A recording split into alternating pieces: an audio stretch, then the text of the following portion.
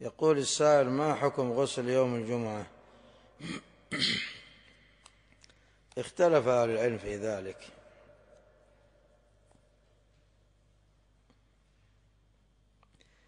وحديث أبي سعيد فيه أو لفظ غسل يوم الجمعة واجب على كل محترم.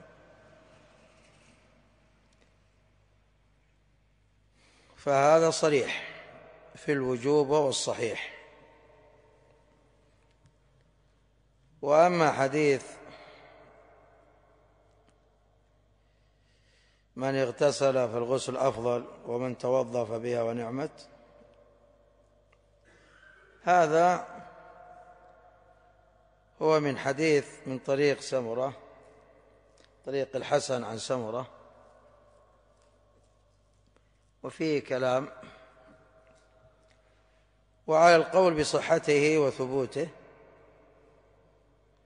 فحديث أبي سعيد صريح. فإما أن يقال هذا كان قبل الإيجاب ثم جاء الإيجاب لأن هذا لفظ واجب واجب. ولهذا رد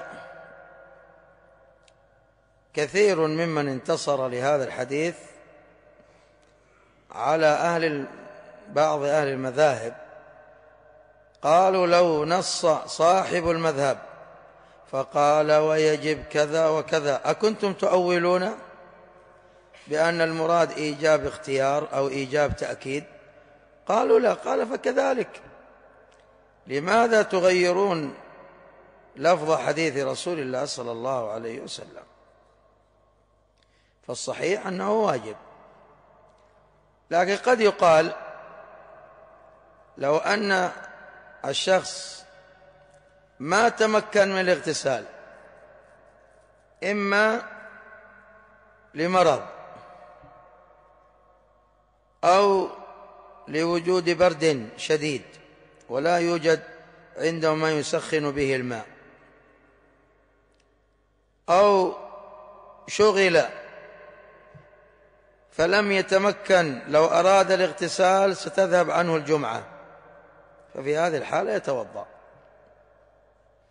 ولهذا عمر رضي الله عنه أنكر على عثمان يوم الجمعة وهو على المنبر وفي الخطبة. لما رآه متأخرا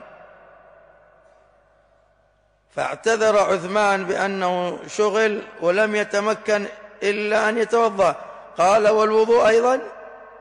وأنت تعلم أن النبي صلى الله عليه وسلم كان يأمر بالغسل.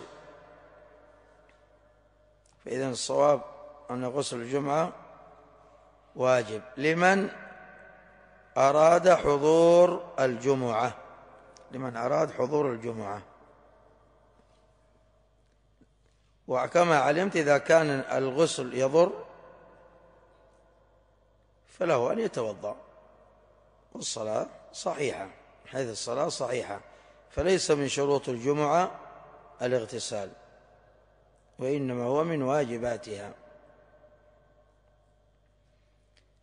وهي تجب على كل من أراد حضور الجمعة الرجال بلا إشكال والنساء لعموم الحديث من أتى الجمعة فليغتسل في ابن عمر الصحيحين. فهذا يشمل حتى المرأة. إذا أرادت حضور الجمعة أنه يجب عليها أن تغتسل.